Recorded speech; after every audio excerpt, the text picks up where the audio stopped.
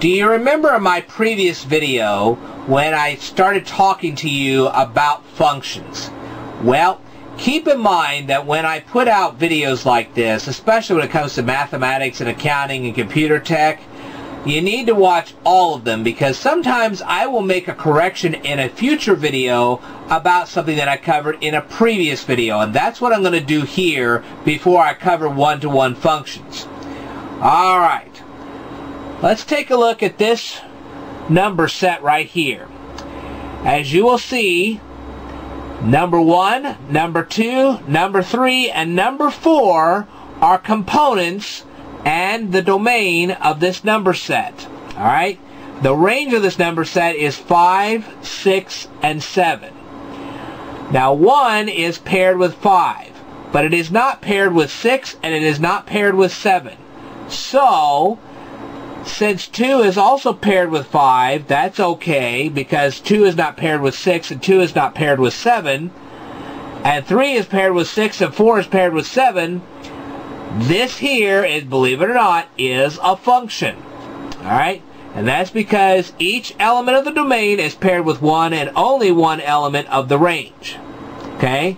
Now, just because two elements of the, of the domain are paired with the same uh, element of the range does not mean that this isn't a function. Of course it is.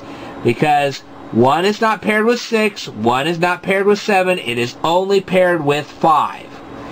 Doesn't matter that 2 is also paired with 5. It only matters that 1 is not paired with 6 and 1 is not paired with 7.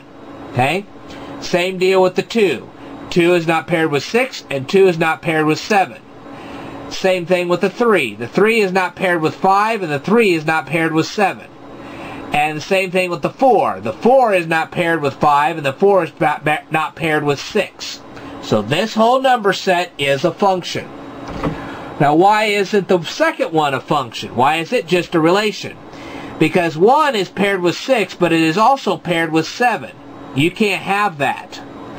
This is a range because 1 has been paired both with 6 and with 7. And that's not allowed. So this is not a function. This is a relation. Okay? Now, what is a one-to-one -one number set? Hey, this is a one-to-one -one function, believe it or not. Okay, one more time. This is going to be a one-to-one -one function. You have the f of x equaling x plus 7. Notice that the number 0 is paired with 7, but it is not paired with 8, 9, or 10. The number 1 is not paired with 7, 9, or 10. The number 2 is not paired with 7, 8, or 10. And the number 3 is not paired with 7, 8, or 9. So if one element of the domain is paired with only one element of the range, then it becomes a one-to-one -one function.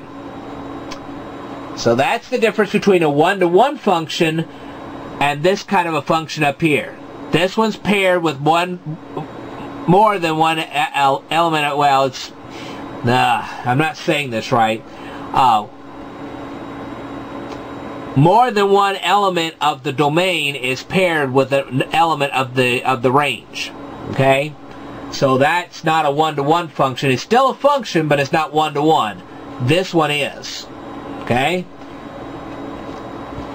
And that pretty much covers the topic. If you have any questions, leave a comment right down here, and I will answer it the best way I can. Hopefully I didn't get you too badly confused. I'll talk to you in future videos, so stay tuned.